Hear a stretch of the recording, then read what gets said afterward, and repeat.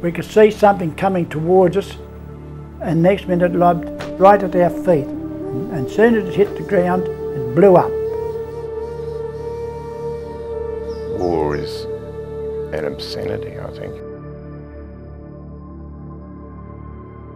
You take your, your what's called a headshot.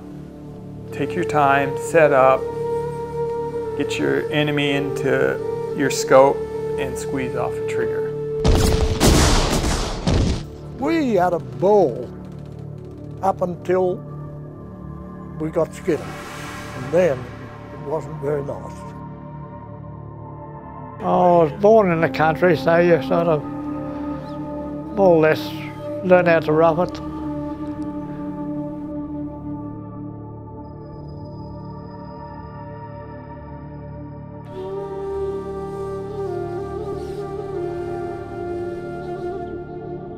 Starting conflict, no, definitely, it's, it's stupid.